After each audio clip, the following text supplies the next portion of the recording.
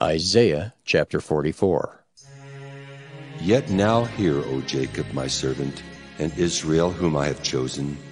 Thus saith the Lord that made thee and formed thee from the womb, which will help thee. Fear not, O Jacob, my servant, and thou, Jeshurun, whom I have chosen.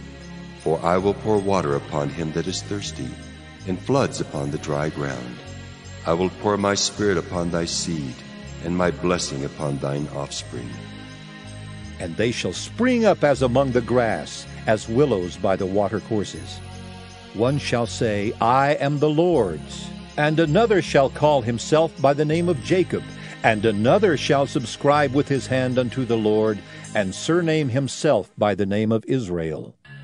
Thus saith the Lord, the King of Israel, and his Redeemer, the Lord of hosts, I am the first, and I am the last, and beside me there is no God and who, as I, shall call and shall declare it, and set it in order for me, since I appointed the ancient people. And the things that are coming and shall come, let them show unto them. Fear ye not, neither be afraid. Have not I told thee from that time and have declared it? Ye are even my witnesses. Is there a God beside me?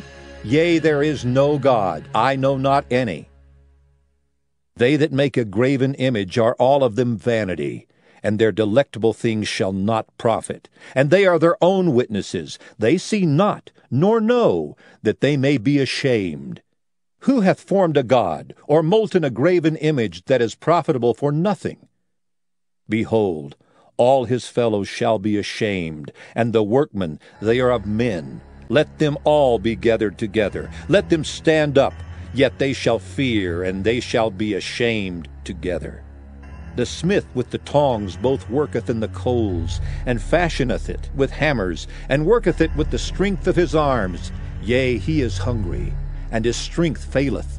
He drinketh no water, and is faint. The carpenter stretcheth out his rule. He marketh it out with a line. He fitteth it with planes, and he marketh it out with the compass and maketh it after the figure of a man, according to the beauty of a man, that it may remain in the house. He heweth him down cedars, and taketh the cypress and the oak, which he strengtheneth for himself among the trees of the forest. He planteth an ash, and the rain doth nourish it. Then shall it be for a man to burn, for he will take thereof and warm himself. Yea, he kindleth it, and baketh bread. Yea, he maketh a god, and worshippeth it. He maketh it a graven image, and falleth down thereto. He burneth part thereof in the fire. With part thereof he eateth flesh. He roasteth roast, and is satisfied. Yea, he warmeth himself, and saith, Ah, I am warm, I have seen the fire. And the residue thereof he maketh a god even his graven image. He falleth down unto it, and worshippeth it, and prayeth unto it, and saith, Deliver me, for thou art my God. They have not known nor understood, for he hath shut their eyes, that they cannot see, and their hearts, that they cannot understand. And none considereth in his heart, neither is there knowledge nor understanding to say, I have burned part of it in the fire. Yea, also I have baked bread upon the coals thereof.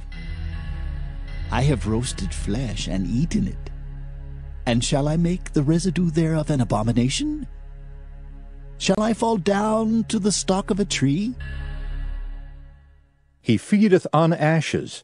A deceived heart hath turned him aside, that he cannot deliver his soul, nor say, is there not a lie in my right hand? Remember these, O Jacob and Israel, for thou art my servant. I have formed thee, thou art my servant.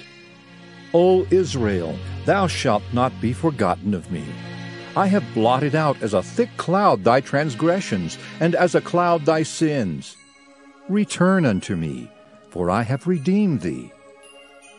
Sing, O ye heavens, for the Lord hath done it. Shout, ye lower parts of the earth. Break forth into singing, ye mountains, O forest, and every tree therein. For the Lord hath redeemed Jacob and glorified himself in Israel. Thus saith the Lord thy Redeemer, and he that formed thee from the womb.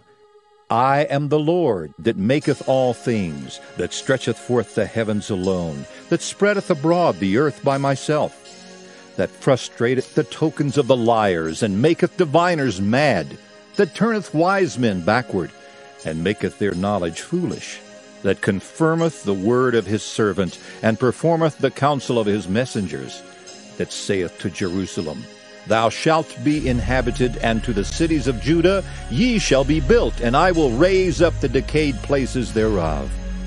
That saith to the deep, Be dry, and I will dry up thy rivers. That saith of Cyrus, He is my shepherd, and shall perform all my pleasure. Even saying to Jerusalem, Thou shalt be built, and to the temple, Thy foundation shall be laid